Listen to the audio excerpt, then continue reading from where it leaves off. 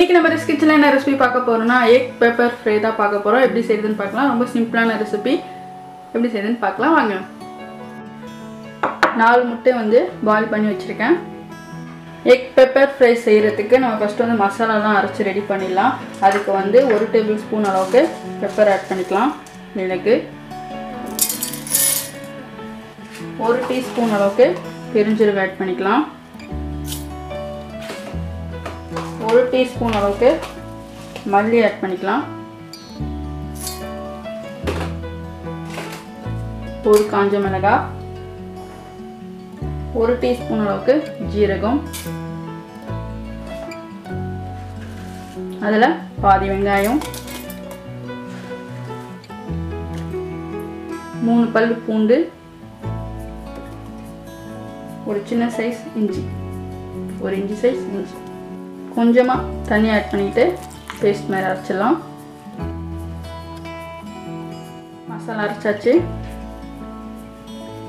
Egg pepper fry ஆரம்பிச்சிடலாம். அதுக்கு வந்து மூணு டேபிள் ஸ்பூன் அளவுக்கு ஆயில் ஊற்றிக்கலாம்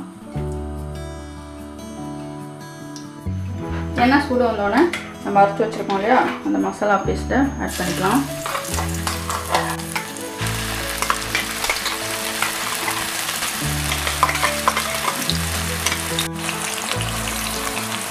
அதில் தேவையான உப்பு ஆட் பண்ணிக்கேன்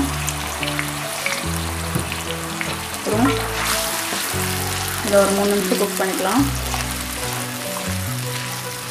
கழிச்சு முட்டையை வந்து இந்த மாதிரி ரெண்டாக கட் பண்ணி எடுத்துக்கோங்க. அதையும் இதில் ஆட் பண்ணிக்கலாம். இதை ஒரு அஞ்சு நிமிஷம் குக் பண்ணிக்கலாம். இதில் கொஞ்சமாக கருவேப்பிலை போட்டுக்கலாம்.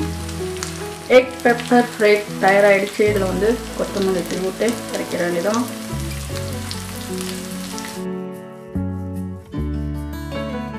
அருமையான எக் பெப்பர் ஃப்ரை வந்து தயாராகிடுச்சு இது நீங்கள் வந்து ட்ரை பண்ணி பாருங்கள் இந்த வீடியோ உங்களுக்கு பிடிச்சிருந்துச்சுன்னா லைக் பண்ணுங்கள் ஷேர் பண்ணுங்கள் மறக்காமல் சப்ஸ்கிரைப் பண்ணிவிடுங்க ரிஸ் கிச்சனை வந்து ரசித்து பாருங்கள் ருசிச்சு சாப்பிட்லாம்.